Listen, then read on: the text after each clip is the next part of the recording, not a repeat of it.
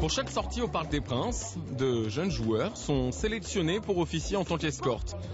Un moment de joie immense pour ces enfants qui arrivent au stade deux heures avant le coup d'envoi.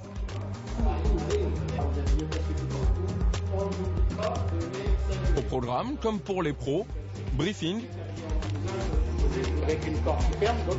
et la pression qui monte jusqu'à la réception des tenues officielles.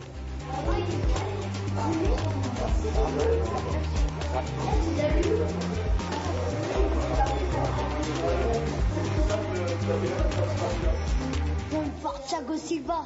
Moi, envie de voir Sirigu. Thiago Silva, il prend. Envie de voir Cavani, moi. C'est qui vos joueurs préférés? Sirigu Sirigu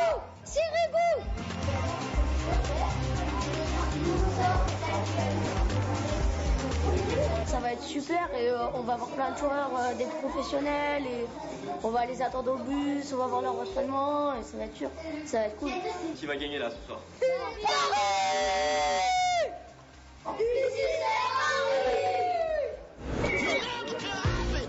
L'attente, impatiente, s'installe, le paroxysme de la nervosité atteint au moment de l'arrivée des idoles.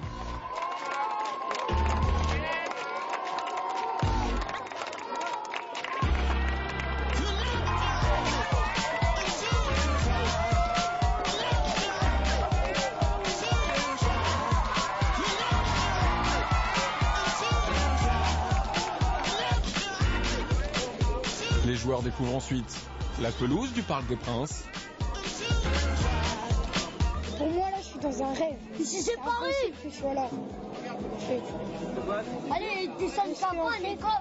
Il y a un joueur qui s'est assis dans euh, ce siège.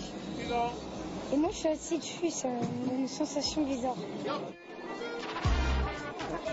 Le temps ensuite d'assister à l'échauffement de la meilleure position que l'on puisse imaginer.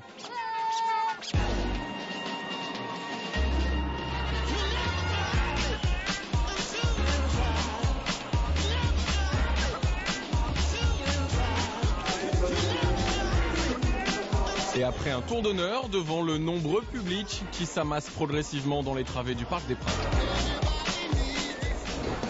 L'heure fatidique arrive. Tenant la main de leur joueur préféré, l'entrée des acteurs au son de la musique du Parc des Princes. Santiago Silvani et Alex, Laurent Blanc offre à Zoumana Camara sa première titularisation de la saison aux côtés de Marquinhos.